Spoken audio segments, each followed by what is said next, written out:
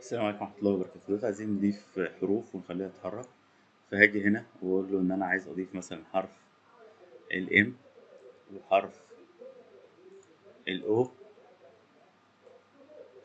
وحرف ال A وحرف ال Z. نبدأ نحركهم زي ما إحنا عايزين. طيب هنبدأ نعمل حاجة دلوقتي إن أنا هقول له لما يحصل الحدث ده ابدأ اتحرك وأقول له هنا مثلا repeat مثلا عشر مرات أو forever لو أنا عايزها طوالي أو if لو أنا عايزها قاعدة لو حصل حاجة يحصل حاجة تانية. طيب هتيجي تحط مثلا ال motion دوت اللي هو عايزه يلف مثلا خمستاشر وخمستاشر بشكل عكسي وتعمل تشغيل مش هتلاقي أي حاجة بتحصل. هي كلها بتحصل بشكل سريع جدا فأنت ما بتشوفش إيه اللي حصل.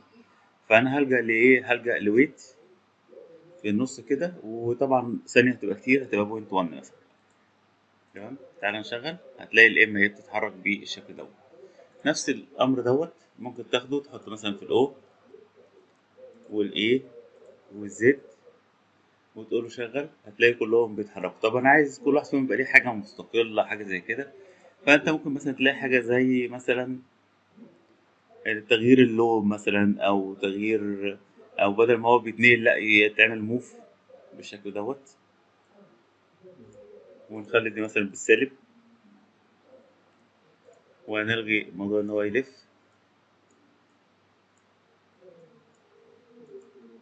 هتلاقيه بيتحرك هو بالشكل دوت. ممكن نقول له بقى لأ ده أنا عايز مثلا تغير لي ال- اللون مثلا. أو تغير ال block.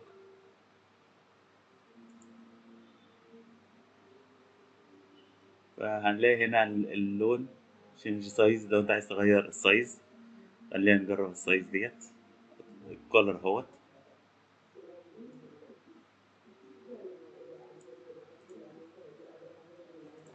نشغل. هتلاقي اللون بيتغير بالشكل دوت. طيب خلينا مثلا نيجي على حرف ال O ونقول له إحنا عايزين نعمل زي change سايز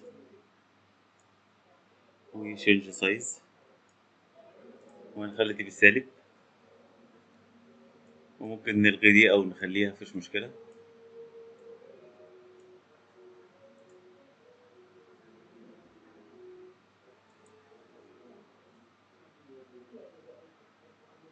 طيب خلي دي مثلا خمسين. شايف؟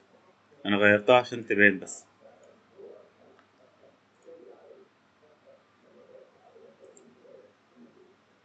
كده أنا رجعتها كده بقى خليها مثلا إيه؟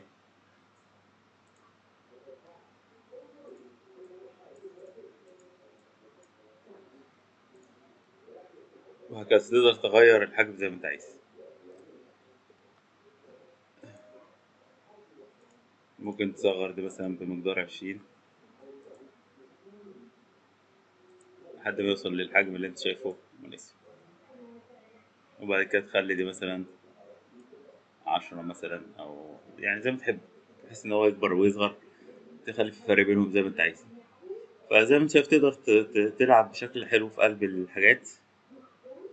أهي ممكن تخلي مثلا يكبروا بشكل آه، مثلا تلاتين وده ويصغر برضه بتلاتين.